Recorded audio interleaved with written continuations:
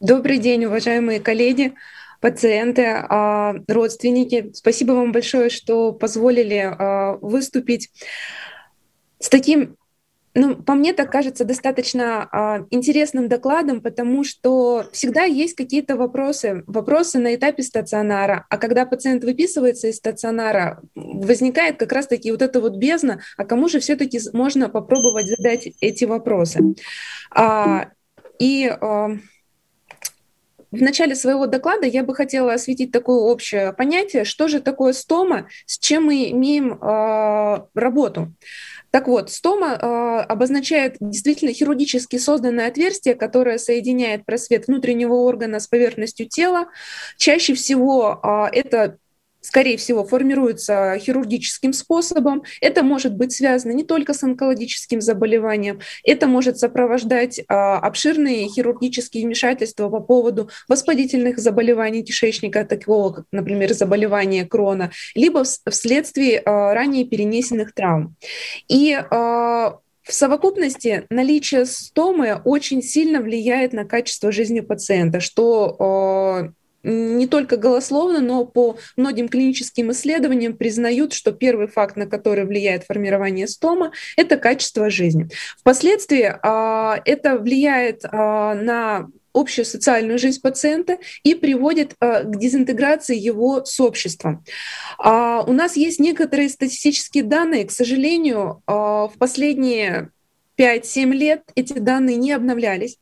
А, те исследования, которые у нас есть, это исследования 7-10-летней давности, но а, на том опыте, который у меня есть небольшой, моего заведующего, а, можно сказать, что эти данные все же еще актуальны. Во-первых, те исследования, которые проводились в 2014-2015 годах показали, что создание кабинетов стомированного пациента а, повышает качество и удовлетворенность жизни пациента уже с, со сформированной стомой на 60% в сравнении, например, с теми пациентами, которые первично не были направлены в кабинет стомированного пациента. Во-вторых, а, по данным, а, в Российской Федерации среднее число стомированных пациентов достигает 100-140 тысяч в год. Но тут нужно оговориться, что все мы знаем злободневную статистику по онкологическим заболеваниям. Это высокий рост э, заболеваемости с колоректальным раком. Например, я в отделении онкоурологии сталкиваюсь с пациентами, которые страдают местно распространенным и метастатической, ну, э, скажем так, местно распространенной формой рака мочевого пузыря,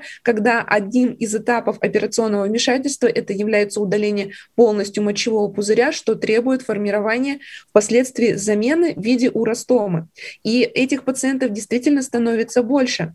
А, но так, такая очень важная цифра. От 40 до 50 процентов из этих пациентов составляют люди трудоспособного возраста, которые при адекватной а, реабилитации а, могут и готовы, и самое главное, что многие из них действительно хотят продолжить трудовую деятельность.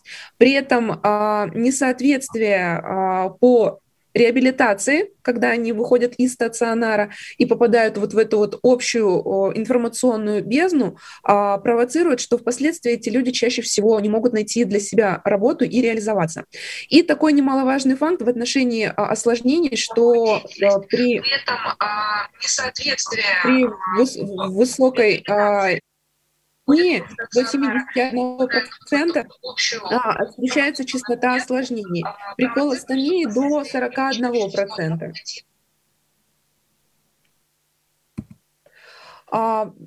Попыталась найти клинические исследования, которые а, охарактеризовали, так а, действительно ли влияет обучение пациентов, получение этой информации на какие-то факторы а, жизни этих пациентов. И а, во всех а, литературных обзорах, которые в совокупности брали несколько клинических исследований, а, оценка эффективности а, работы по обучению была исследована по следующим пунктам. Во-первых, это опросники по изменению качества жизни. Во-вторых, действительно это было показано, что а, обучение пациентов влияет на продолжительность госпитализации. А, все мы знаем, что во многих стационарах внедряется такая система ранней реабилитации пациентов, как Track, когда пациентов действительно стараются подготовить, и когда они быстро выписываются после, например, хирургического вмешательства. Но очень важный факт, если пациент уже не реабилитирован максимально к моменту выписки из стационара, то смысла в введении этого понятия fast-track нет. А если пациент уже знает, как ухаживать за своей стомой, Соответственно, это облегчает, и по исследованиям было показано, что сокращает период э, пребывания в стационаре в среднем на 2-3 дня против тех пациентов, которые не получали вот эту информационную поддержку. Во-вторых, э, от, отмечается снижение частоты осложнений, потому что пациенты знают, какие могут развиваться осложнения вследствие неадекватного ухода за стомой, и э, те осложнения, при которых им следует обращаться за помощью к хирургу, либо стома травматерапевту. Э, впоследствии это снижает вероятность повторной госпитализации пациента с проблемами. И очень э, такой интересный факт, я отметила его специально бирюзовым цветом, это феномен пациент-эксперт. К сожалению, пока что этот феномен чаще всего э, свойственен, например, для западных исследований, э, но э, информационная система расширяется, и благодаря созданию тех же самых блогов пациентов, они э, создают некое такое комьюнити, которое э, доносит эту информацию, и тем самым формирует пациентов-экспертов, которые, когда э, у них есть определенная информация, э, они делятся ей с другими пациентами. И в совокупности потом формируют формируется вот такая схема, а, это рабочая схема, как должна осуществляться а, коммуникация и связь между пациентом, врачами, и в совокупности это впоследствии формирует ассоциацию стомированных пациентов. А, вопросы, которые стоит обсуждать со своим врачом-хирургом, ну так как я врач-хирург, Какие вопросы, как правило, мы стараемся обсудить? Это до даже операции. Во-первых, необходимо обсудить с хирургом, какой тип стомы будет у вас выведен у пациента. Будет это стома постоянная, либо это на какой-то период времени, например, для ликвидации какой-то проблемы или получения первого этапа лечения. Будет ли э, этап э, закрытия этой стомы? То есть нужно ли будет период времени, когда пациенту нужно подготовиться будет повторно к оперативному вмешательству? А, далее Далее, в случае плановой операции а, необходимо, ну, во-первых, а, такой практический совет для врачей, а, узнать и спросить у пациента, а носит ли он вообще пояс. Если это женщина, на каком уровне она обычно носит юбку, то есть э, это впоследствии будет влиять на формирование, выведение уровня стомы. А, уточнить, пациент правша или левша, потому что впоследствии он будет, это же он будет себе менять э, молчеприемник, колоприемник, он будет это делать перед зеркалом. И, естественно, если он правша, то, э, возможно, в некоторых ситуациях стома, стома выводится с правой стороны. А, также необходимо, э, возможно, такое со стороны хирурга выполнить заранее разметку э, на теле, дабы Впоследствии, например, стома не пересекалась с уровнем подвздошной кости, потому что это будет усложнять а, приклеивание пластины на кожу, либо если это будет уровень ремня, то, соответственно, а, туго пациент уже не сможет затянуть ремень и, соответственно, а, осложняет как бы естественный образ жизни пациента. Ну и такой момент а, обсудить с лечащим врачом заранее, кто впоследствии может помочь ему с обучением, уходом за стомой после операции. Это может быть врач, собственно, лечи. Это может быть стоматерапевт, либо это может быть квалифицированная, обученная медсестра, например, как в нашем стационаре, а, на нашем отделении онкоурологии, наша перевязочная сестра несколько лет назад а, прошла обучение по программе обучения пациентов со стомами. А, здесь я привела несколько полезных ресурсов, которые могут помочь пациентам а, на первоначальном этапе. Во-первых, это специализированный информационный портал Астом, где приведены а, видеофрагменты по обучению, как можно эту стому поменять, из каких компонентов состоит уход за стомой. То есть это колоприемники, уроприемники, это какие-то гигиенические средства, и там расширенный перечень. Я в своей лекции об этом рассказывать не буду, но э, если, например, возникнет такая потребность или кто-то из пациентов захочет все-таки эту информацию э, получить из наших уст, то я, безусловно, готова подготовить такую маленькую лекцию. Потом на э, сайте Астом есть вкладка «Это правовые акты», которые э, могут помочь в оформлении в инвалидности, либо в получении реабилитационной реабилитационных мероприятий после операции. А, и также перевела а, Центр поддержки стомированных пациентов а, от Колопласта. И сегодня мы поговорим о некоторых аспектах реабилитации пациентов со стомами. Например, такие как питание. Сегодня будет рассказывать глубоко уважаемая Татьяна Юрьевна Семиглазова про питание. По поводу, например, приема лекарств, такой важный момент нужно обсуждать прежде всего со своим лечащим врачом те препараты, которые э, пациент получает, потому что есть такая особенность. Если таблетки покрыты специальным э, составом, который растворяется в тонкой кишке, но при этом у пациента выведена высокая стома или астома, то есть вероятность, что данный препарат не сможет э, разрушиться эта оболочка, и препарат не будет э, не произойдет его всасывание, соответственно, не поступит дозировка этого препарата в организм. И тогда нужно обсуждать э, со своим лечащим врачом возможные варианты замены этого препарата, когда эта оболочка, например, может быть разрушена э, в более высоких отделах. Ни в коем случае при стомах нельзя производить растирание таблеток, потому что э, когда они попадают, например, в ту же самую агрессивную среду желудка, то может произвести привести к нарушению пищеварения. А, далее, такой момент по поводу физической активности. Когда, например, а, стоит приступать пациенту со стомой а, к физической активности? Как правило, мы, мы рекомендуем, во-первых, это по физическим нагрузкам 3-4 килограмма в первые 2-3 месяца. По рекомендациям центра, который приведен на слайде, это Memorial Sloan Kettering, они рекомендуют до 4,5 килограмм. Далее, рекомендуется с физической нагрузки присоединить ходьбу, а, может быть обсуждены некоторые варианты стретчинга, растяжки. Но, а, например, такие как силовые нагрузки, отжимания, приседания, чрезмерные следует исключить, потому что это может поспособствовать формированию, во-первых, ослаблению мышц передней брюшной стенки и формированию такого феномена, как парастомическая грыжа. А, если, например, пациент а, планирует путешествие, выход на улицу, это может быть перемещение буквально в течение двух-трех дней, и это тот момент, с которым сталкиваются, например, мои пациенты, потому что я работаю в федеральном центре, и к нам приезжают с различных регионов люди. И э, этот вот самый первый э, стрессовый момент, когда пациенту сформировали стом, вроде бы его обучили, но ему предстоит путешествие домой.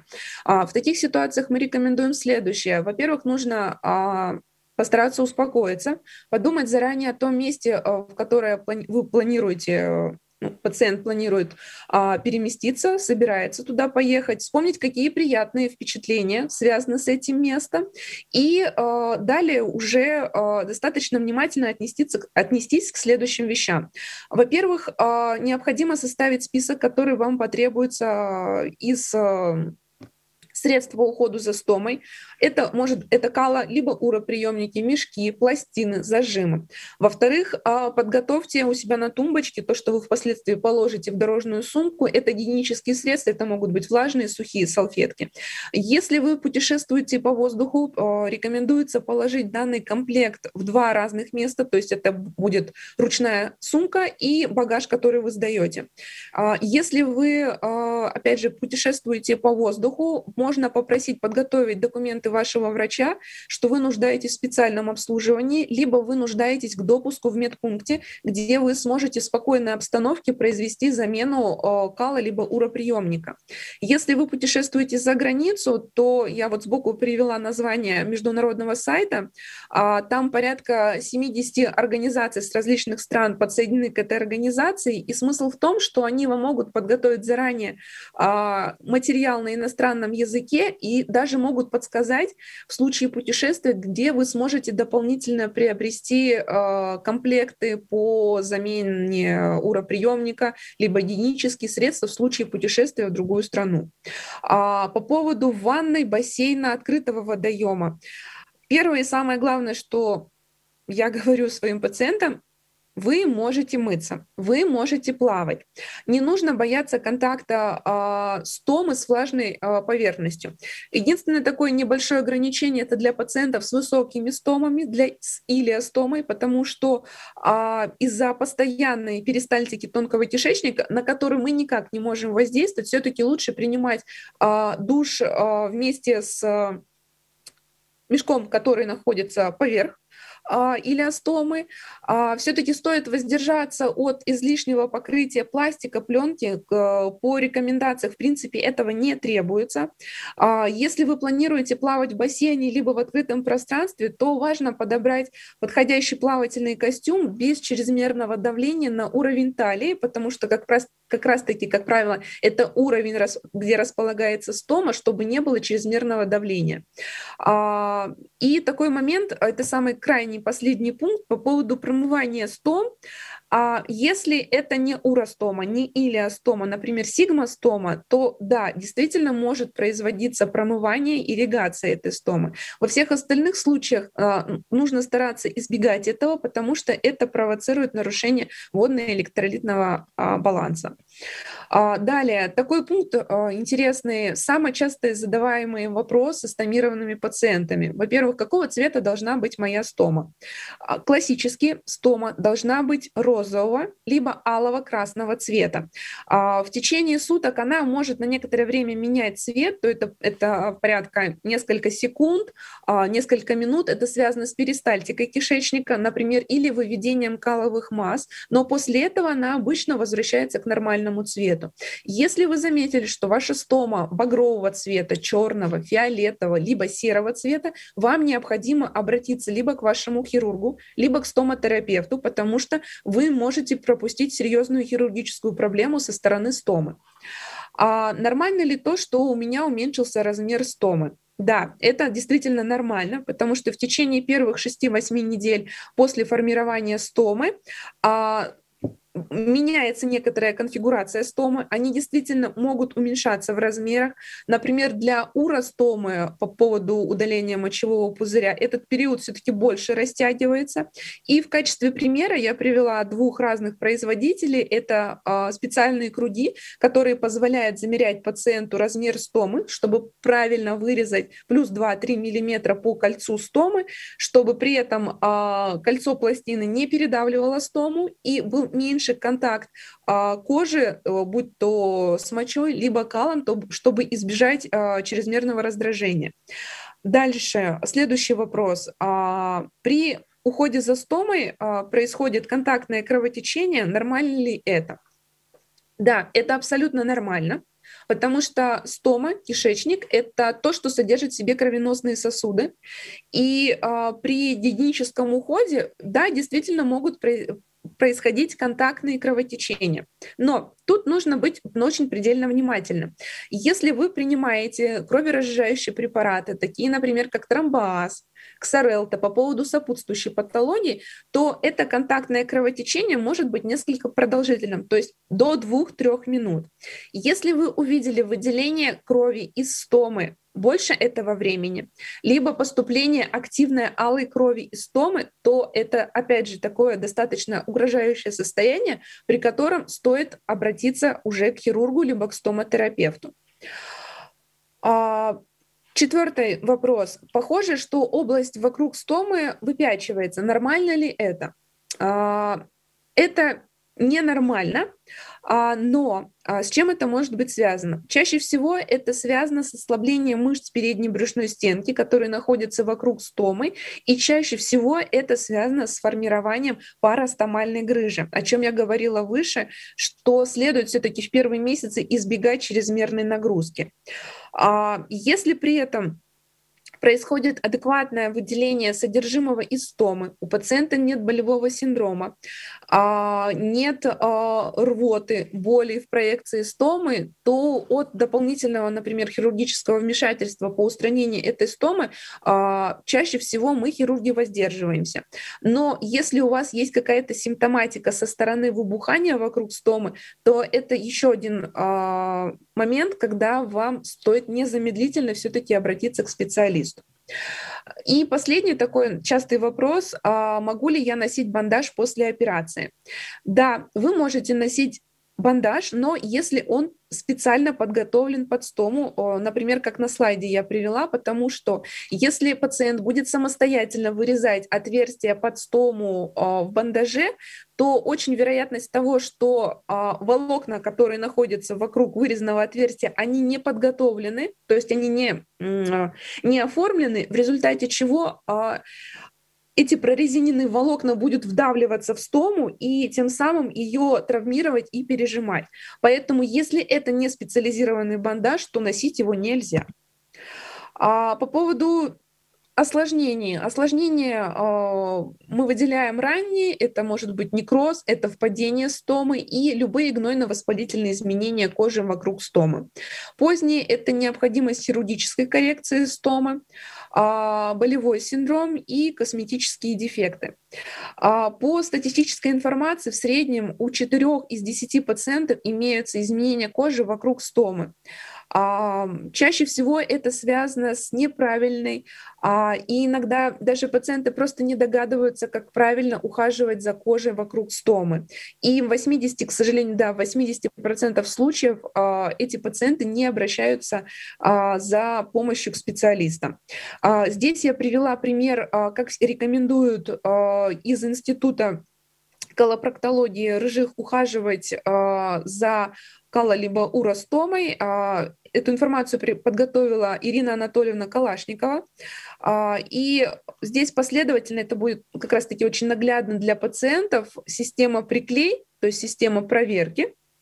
Перед тем, как приклеить, а, кола или уроприемник и система отклеивания, то есть по оценке э, состояния пластины, если у пациента есть жжение и зуд, то это сигналы для более раннего снятия пластины.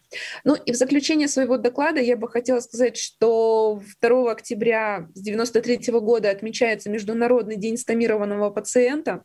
Э, благодаря этому дню, и я считаю, что, наверное, благодаря сегодня вот такой встречи, которую мы организовали, а, привлекается внимание к медико-социальным проблемам стомированных людей, что может позволить а, повысить реабилитацию этих людей в нашем обществе. Спасибо большое.